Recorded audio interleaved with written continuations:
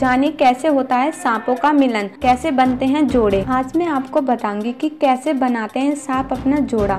दोस्तों, सांप एक ऐसा जीव है जो सदियों से मनुष्य के लिए सौंदर्य का विषय रहा है। इसके आभास, भोजन, चलने का तरीका, विष आदि के विषय में आसानी से जानकारी मिल जाती है। लेकिन इसके समागम और सत्यति के बारे में बहुत ही कम लोग जानते हैं।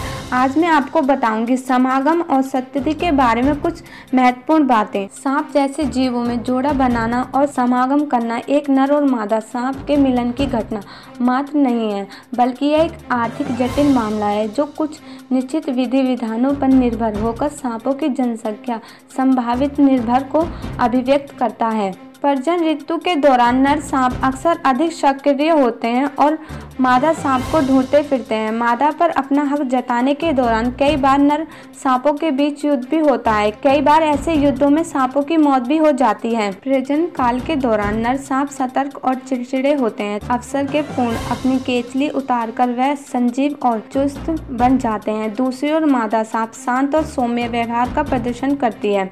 जब तक कि कोई नर सांप उस तक ना पहुँच जाए। सांप की या मिलन की क्रिया देना अपने आप में एक आश्चर्य चिंतित घटना है। मिलन के समय नर और मादा सांप को देखकर ऐसा लगता है, मानो वह दो नहीं, एक ही हो। जैसे जैसे मादा चलती है, वैसे ही नर उसका अनुसरण करता है और इस क्रिया के दौरान नर और मादा सांप धरती से कई फीट ऊपर भी उठ जाते हैं। अधिकतर सांप वर्षा ऋतु के लगभग दो महीने पहले समागम करते हैं। प्रत्येक प्रजाति के नर सांप केवल अपनी नस्ल की मादा सांप के साथ ही जोड़ा बनाते हैं। धामा और अजगर प्रजाति के सांप साल में एक बार तथा पूर्सा भेड़िया सीता की लट प्रजाति के सांप साल में दो बार प्रजनन करते हैं।